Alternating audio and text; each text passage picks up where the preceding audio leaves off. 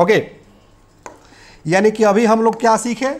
कि parts of speech यानी कि स्पीच के जो फैमिली हैं फैमिली मेंबर का हम लोग नाम जान रहे थे। है ना? तो पहले फैमिली मेंबर का नाम क्या है? नाउन और दूसरा प्रोनाउन तीसरा वर्ब चौथा एडवर्ब पांचवा एडजेक्टिव छठा प्रीपोजिशन सातवां कंजक्शन और आठवां इंटरजेक्शन कोई दिक्कत? वेरी गुड अब जानिए कि नाउन के भी अलग अलग जो है क्या है? फैमिली मेंबर हैं। मान लीजिए कि ये दादा ये दादा हो गए तो ये दादा के आठ पुत्र हो गए, आठ औलाद हो गए। समझ पा रही है ना?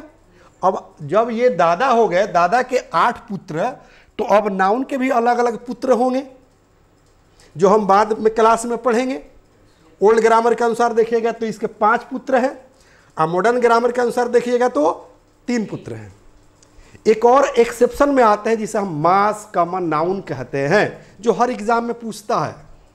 एकदम स्थिरता पूर्वक केयरफुली मेरा क्लास करना है।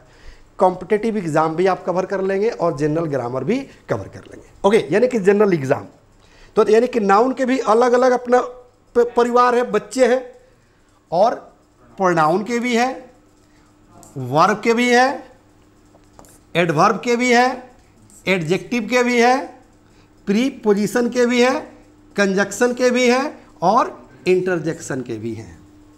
यानी कि पार्ट्स ऑफ़ स्पीच के फैमिली जब देखिएगा ना तो आपको रावण का खानदान याद आने लगेगा। क्योंकि रामायण में जब रावण के खानदान देखिएगा ना तो आपको पता नहीं चलेगा कौन पोता है, कौन बेटा है, कौन, इतना ज़्यादा उसका खानदान है। उसी तरह से भी इसका क्या है? सब खानदान है, समझ लीजिए। क्या है? खानदान है, जो सबको आपको जानना ज़रूरी है। कोई दिक्कत? कोई दिक्कत? चलिए, अब इस सारे चीज़ों को हम लोग जो है बारी बारी से जानेंगे। बस थोड़ा सा जो है इस पर फोकस कर दे रहे हैं, ताकि जो है आप लोग को कोई परेशानी ना हो। नाउन क्या है? तो जान लीजिए, जो भी आपके आँख से दिख रहा है, हर चीज़ नाउन है। जैसे आपको मेरा नोज़ दिख रहा है, नोज़ नाउन है। मेरा चिक दिख रहा है चिक नाउन है। मेरा आँख दिख रहा है, आँख नाउन है। मेरा फिंगर्स दिख रहा है, नाउन है। ये दिख रहा है, नाउन है। मेरा हेयर दिख रहा है, नाउन है। पंखा दिख रहा है, नाउन है। क्या है? सब नाउन है। राइट? अब नाउन में कौन सा नाउन है, अब इसके अंदर आएँगे तो पढ़ेंगे।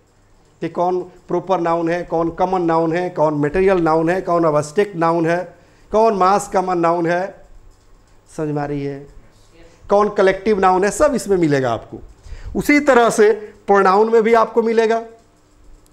तो प्रोनाउन किसे कहते हैं? नाउन तो आपने देख लिया कि जो भी आँख से दिख रहा है, हर चीज़ नाउन है। Everything is noun noun is a naming word समझ में आ रही है? उसी तरह से प्रोनाउन क्या है?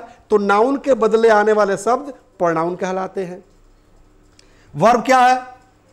तो जिससे होने या कुछ करने का बोध होता है उसे वर्ब कहते हैं। समझ में रही ना? अब वर्ब का अलग अलग पार्ट है कि कौन एक्शन वर्ब है, कौन एक्जुअली वर्ब है, कौन मार्जिनल वर्ब है। समझ में रही है? तो वर्ब में जाएँगे तो ये चीज़ मिलेगा। उसके बाद जाइए एडवर्ब एडवर्ब के बहुत सारे जो है फैमिली मेंबर है। एडवर्ब ऑफ़ प्लेस है एडवर्ब ऑफ़ टाइम है एडवर्ब ऑफ़ फ्रीक्वेंसी है। समझ मारिए एडवर्ब ऑफ़ मैनर है, बहुत सारे चीज़ है इसमें, जो हम लोग बारी बारी से पढ़ेंगे। उसके बाद एडजेक्टिव देख लीजिए। एडजेक्टिव क्या है? तो जो नाउन या प्रनाउन के विशेषता को बतलाता है। जो नाउन या प्रनाउन के अच्छाई और बुराई को बतलाता है, उसे हम एडजेक्टिव कहते हैं। उसमें भी बहुत सारे चीज़ है पढ़ना है, इसका बहुत सारा फैमिली मेंबर है। उसी तरह से आ जाए प्रीपोजिशन प्रीपोजिशन क्या है? जब किसी वाक्य में, किसी वर्ड के पहले जुड़कर उस वर्ड को दूसरे वर्ड के साथ संबंध बतावे, उसे हम प्रीपोजिशन कहते हैं। जैसे वह गधा पर है तो पर हटा दीजिए तो वह गधा है। तो पर क्या हो गया? प्रीपोजिशन हो गया। वह कमरे में है तो मैं हटा दीजिए। वह कमरा है तो गलत हो जाएगा ना, कोई व्यक्ति कमरा तो हो नहीं सकता। तो मैं क्या है? प्रीपोजिशन है। पर प्रीपोजिशन है। जब इसको हम लोग डिटेल में पढ़ेंगे तो सब चीज़ समझ में आएगा, एकदम बारीकी से समझ में आएगा। ओके चलिए, उसके बाद क्या है? कंजक्शन कंजक्शन क्या करता है? तो जोड़ता है। जैसे देख रहे हैं ना, ये जुड़ा है, यहाँ से जुड़ा है ना? जुड़ा है ना? यहाँ से जुड़ा है। ये जुड़ा है, तभी मुड़ रहा है। उसी तरह से एक वर्ड को दूसरे वर्ड से जोड़ा जाता है तो जो शब्द जोड़ने का काम करता है, उसे कंजक्शन कहते हैं। एक वाक्य को दूसरे वाक्य से जोड़ा जाता है। तो जो वर्ड जोड़ता है, उसे हम कंजक्शन कहते हैं। समझ में रही है? चलिए, इसका भी अलग अलग फैमिली मेंबर है, वो हम लोग देखेंगे बारी बारी से। उसके बाद करें कि इंटरजेक्शन अब इंटरजेक्शन क्या है? समझ में रही है? तो जब हम आश्चर्य करते हैं, जैसे हम कहें कि संजीव सर मर गए। हा? मर गए? तो आश्चर्य हो रहा है ना? तो ये सब क्या हो गया? ये सब इंटरजेक्शन है। कहते ना कि बुढ़िया शराप दी, या बुढ़िया हमें आशीर्वाद दी कि तुम्हें औलाद होगा, तुम्हें एक औलाद हो। खुदा करे कि तुम सत्य, तुम्हारा सत्यानाश हो जाए। भगवान करे तुमको एक औलाद हो जाए। जियो लखिया होख, जुग जुग जियो। एगो भोजपुरी में गाना आया था बड़ी कि महल में लेहल जनामवा मह, महल में लेहल पता नहीं कैसे भोजपुरी में एक गाना है कि महल में लेहल जनामवा ललानवा, कि महल में शोर मचल हो। राइट तो ऐसे चीज़ों पर जो है राजा को लोग बधाई देता होगा।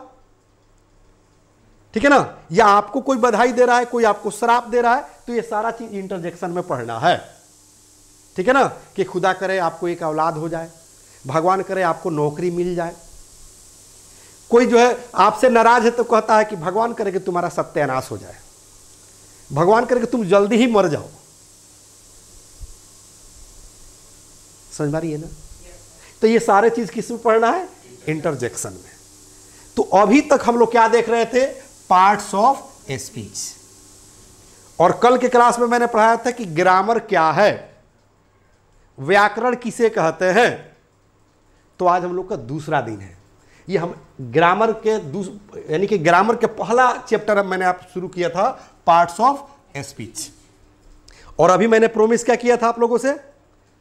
कि इंग्लिश बोलने के लिए जो आपकी सबसे बड़ी प्रॉब्लम है वर्ड मीनिंग उस पर तीन जो है रूल मैंने बताया था, जो मेरी अपनी रिसर्च है कि एक रूल पर कम से कम दो, चार, पाँच, दस हज़ार वर्ड मीनिंग याद हो जाएगा, बिना लिखे हुए.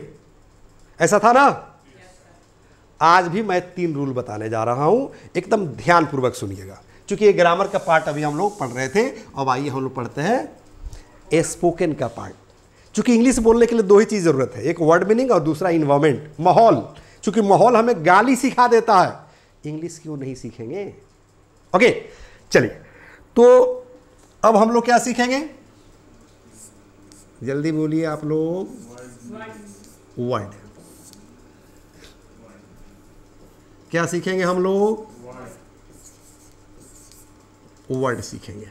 ओके वर्ड में जो है, सबसे पहला रूल जो है, आज हम बताएँगे क्योंकि तीन रूल बता चुके हैं। तो आइए ना, इसको हम चौथा रूल कर दे रहे हैं। ठीक है ना? यानी कि चौथा रूल आज हम लोग सीख रहे हैं। तो याद रखना है।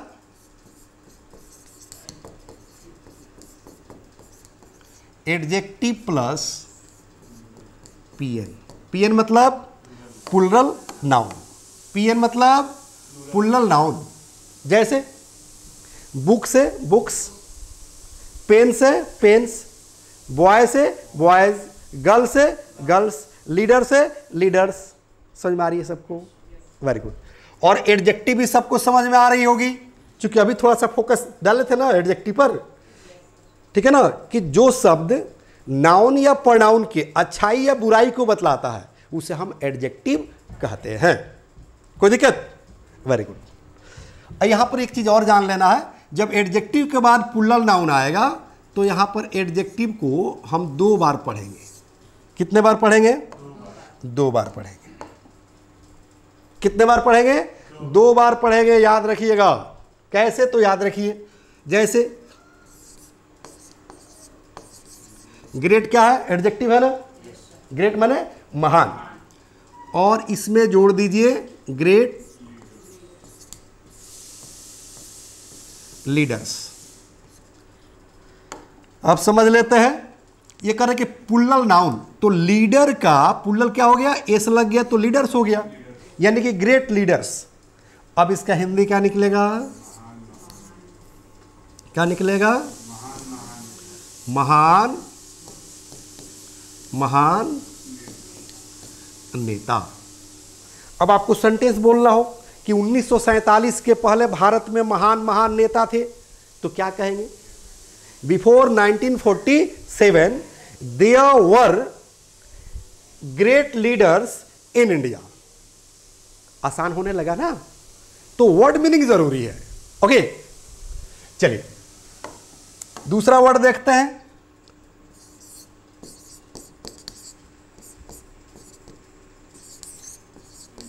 इंटेलिजेंट आइस में जोड़ दीजिए। स्टूडेंट्स देखिए, यहाँ भी क्या लग गया? एस लग गया। मतलब पुल्लल हो गया, यानी कि पुल्ला नाउन। और इंटेलिजेंट क्या है? एडजेक्टिव है। तो इंटेलिजेंट स्टूडेंट्स मतलब तेज तेज विद्यार्थी। क्या हुआ? तेज तेज विद्यार्थी। समझ पा रही है? अब करना क्या है कि एक वर्ड अलग से सीख लेना है। फुल ऑफ़ मतलब से भरा हुआ। क्या हुआ? से भरा हुआ। ठीक है? आप जान लिए ना कि फुल ऑफ़ मतलब होता है से भरा हुआ। जैसे फुल ऑफ़ क्रिमिनल्स अपराधियों से भरा हुआ। फुल ऑफ़ लीडर्स नेताओं से भरा हुआ। फुल ऑफ़ मनी पैसों से भरा हुआ। अब फुल ऑफ़ स्टूडेंट्स विद्यार्थियों से भरा हुआ। अब हम कहेंगे कि my class is full of intelligent students मेरा क्लास तेज तेज विद्यार्थियों से भरा हुआ है। India is full of great leaders intelligent leaders यहाँ पर लीडर कर दीजिए। My college is full of intelligent students चूँकि आपको रास्ते पता चल गया तो जहाँ मन करे वहाँ जा सकते हैं। समझ मारी है? कोई दिक्कत? अब कहेंगे they are intelligent students in Jamia college in J U in science college Patna they are intelligent students in BBC public school Siwan आप लोग उसी का प्रोडक्ट है ना? BBC public school Siwan okay आप लोग बोलते रहिए ताकि मेरे जो ऑनलाइन बच्चे हैं उनको भी पता चले कि आप लोग ऑफलाइन में पढ़ रहे हैं। है ना बीबीसी पब्लिक स्कूल के स्टूडेंट आप लोग? तो जितने भी बीबीसी पब्लिक स्कूल के स्टूडेंट हैं उनके लिए ग्रेट अपॉर्चुनिटी है बेस्ट अपॉर्चुनिटी है ग्रामर और स्पोकन सीखने का। और बीबीसी पब्लिक स्कूल के अलावा जो बच्चे हैं इंडिया के कहीं के भी बच्चे हैं वर्ल्ड के कहीं के भी बच्चे हैं आज ही आप ज्वाइन कर लीजिए English plus by Sanjeev Shivani आपको ग्रामर ना समझ में आए स्पोकन ना समझ में आए, ऐसा हो ही नहीं सकता। क्योंकि मैं पेशे से राइटर हूँ, अपनी किताब भी दिखाऊँगा, अपने चैनल का नाम भी बताऊँगा और अपने ऐप का भी नाम बताऊँगा। ओके पहले वर्ड मीनिंग बनाना हम लोग सीख ले, फिर देखते हैं। चलिए तो ये दूसरा वर्ड था। तीसरा, जैसे ब्लैक मतलब क्या होता है? ब्लैक मैंने काला, चाहे काली आइस में जोड़ दीजिए, ब्लैक गर्ल्स। मतलब काली काली लड़कियाँ। आ यहाँ पर गर्ल्स के जगह पर अगर आप बॉयज़ कर दे रहे हैं तो क्या हो जाएगा? काले काले लड़के। क्या सही? मैं आपको नहीं कह रहा हूँ ज़्यादा नहीं कह रहा हूँ। ओके चलो। तो ब्लैक बॉयज़ मतलब काले काले लड़के अब ब्लैक गर्ल्स मतलब काली काली लड़कियाँ। कहेंगे your class is full of black girls my class is full of black boys कहेंगे no sir my class is full of beautiful girls चलो, ये भी जान लो. ब्यूटीफुल गर्ल्स मतलब सुंदर सुंदर लड़कियाँ. तो कह सकते हैं ना कि no sir my class is not full of black girls on the contrary my class is full of beautiful girls यानी कि मेरी क्लास सुंदर सुंदर लड़कियों से भरा हुआ है. Just like Kashmiri girls Kashmir is full of beautiful girls यानी काश्मीर जो है, सुंदर सुंदर लड़कियों से भरा हुआ है। ठंडा इलाका है। अपने यहाँ भी जो देखिएगा, ठंडे के दिनों में जब लोग कंबल उड़ता है, चादर ओढ़े रहता है, स्वेटर पहने रहता है तो उस समय गोरे हो जाता है। और जब गर्मी आती है माई गॉड लगता है कोयले के खान से निकले हुए देखिए, पसीना निकल रहा है।